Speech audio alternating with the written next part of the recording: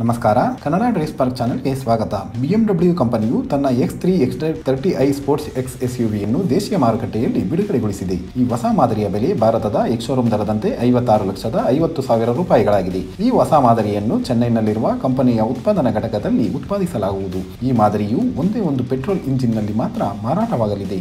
ಈ ಹೊಸ S ಯುವಿಯನ್ನು booking ಮಾಡುವ ಆರಂಭಿಕ ಗ್ರಾಹಕರಿಗೆ ಒಂದೂವರೆ ಲಕ್ಷಗಳವರೆಗಿನ ಕೊಡುಗೆಗಳನ್ನು ನೀಡಲಾಗುತ್ತದೆ. ಈ ಎಸ್ ಯುವಿಯ ಮೇಲೆ ಮೂರು ವರ್ಷಗಳ ಅಥವಾ ನಲವತ್ತು ಸಾವಿರ ಕಿಲೋಮೀಟರ್ಗಳ ವಾರಂಟಿಯನ್ನು ನೀಡಲಾಗುತ್ತದೆ.